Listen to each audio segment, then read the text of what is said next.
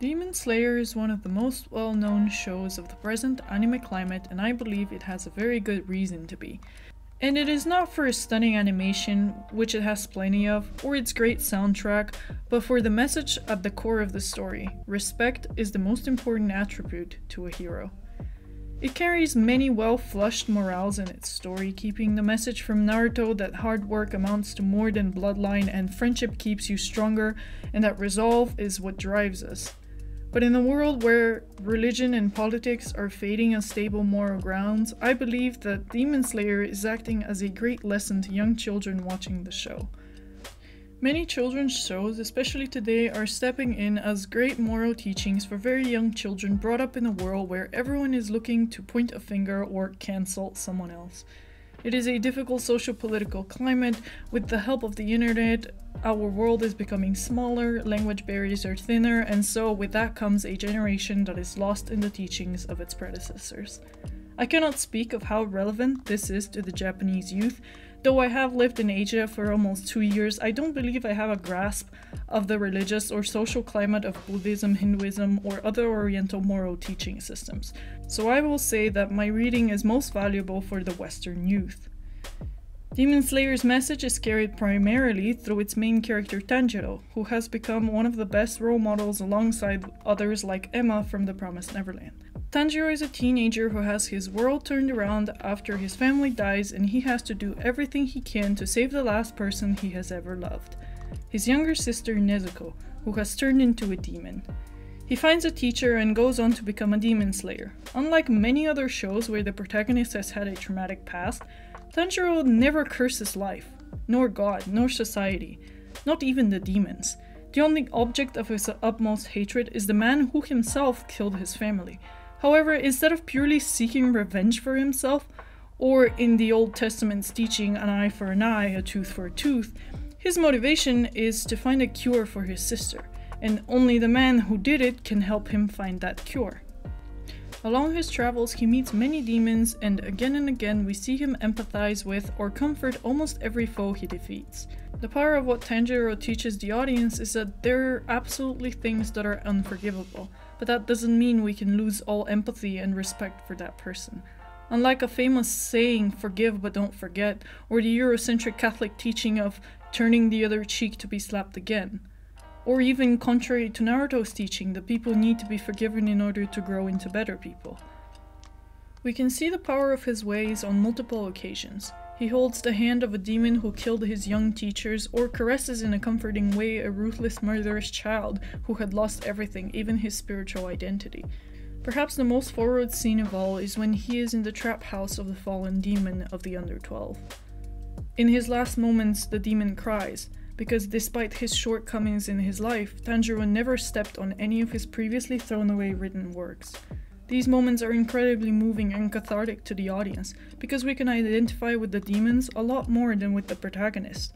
We can understand what it's like to have your work go unappreciated, or to seek salvation from someone when in danger, no matter the cost.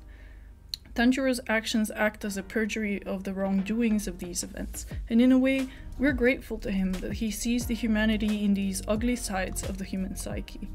He repeats it multiple times that he can never forgive them, but there isn't a single point in which he does not respect his opponents, and in a way, that is what makes them human. Because to him, if he admits that they are in no way human, then so isn't his sister.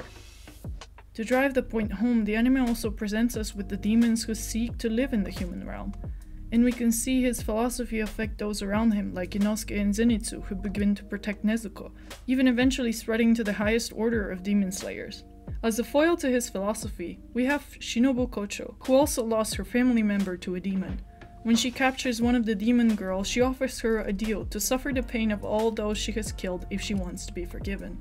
The demon refuses and is killed, of course, but the philosophy is what matters. Tanjiro and Shinobu are two sides of a coin one that does not offer forgiveness but keeps his respect, and the other that can offer forgiveness at the expense of all respect. Tanjiro also keeps a great relation with his friends, notably when he interacts with Inosuke, who is presented as a brute and overly excited character with no manners, much like a child. He purposefully tries to annoy Tanjiro, who isn't phased at all and if anything is willing to help him out. I don't believe that the message is that Inosuke is childish and so Tanjiro feels morally above him, but rather that Tanjiro empathizes with him and knows that there are things he cannot understand about Inosuke, and so he chooses to help. An even much smaller example of this respectful nature is towards the noodle shop owner who asks Nezuko to eat his delicious noodles. Tanjiro understands that the maker takes great pride in his food, and so to honor his work, he simply takes two. When I think of myself in such a situation, I would spend some time to explain the personal situation of the person close to me, rather than considering the reason of the shop owner.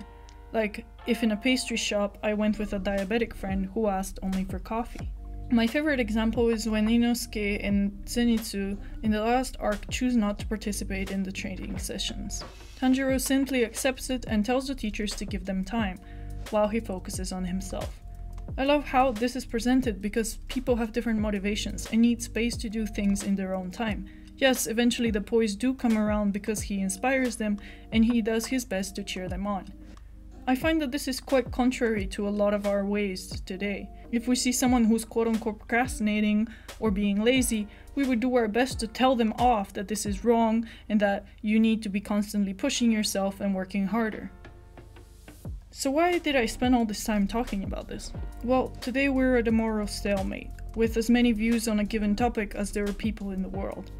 I believe there is something powerful to teach in the notion that even when you disagree, even when you should not forgive, even when you don't understand someone's views, or you cannot move at someone's pace, you can still show respect. So, I hope that you will show Demon Slayer to your child, your little sibling, underclassman, or simply someone who's young but make sure you also point out to them Tanjiro's moral code. Thank you for sticking with me and have a good day. Also, if you have stuck so far, please leave a like and subscribe.